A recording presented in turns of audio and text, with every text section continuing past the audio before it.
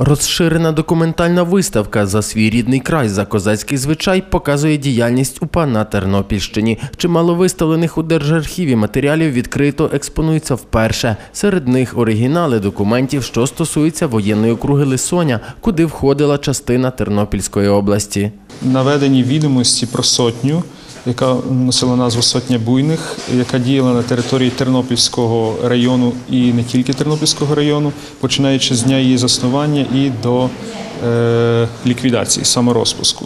Вона цікава тим, що тут детально розписано, в яких селах діяла сотня, і бої як з німецькими, так і радянськими військами, е, також сутички з польськими е, загонами. Вона також цінна тим, що тут представлено е, список колишніх вояків, які входили у цю сотню з псевдами, рік народження і також датою смерті. Окремі розділи виставки містять документи про агітаційну діяльність упівців, а також матеріали Служби безпеки ООН УПА. Представлені списки загиблих е, станом на 47-й рік е, саме на території Тернопільської області. Представлені е, численні документи, які розповідають про пропагандивну діяльність Організації українських націоналістів та Української повстанської армії.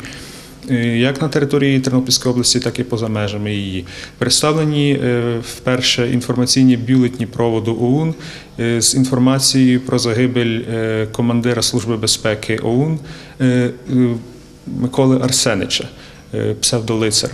Завершують виставку документи радянських архівних і партійних фондів, що розповідають про методи боротьби з ОУН та УПА. Зокрема, довідка про виселення з Тернопіля підозрюваних у прихильності до українських повстанців. Оглянути виставку працівники Держархіву запрошують усіх, кому цікава тема УПА.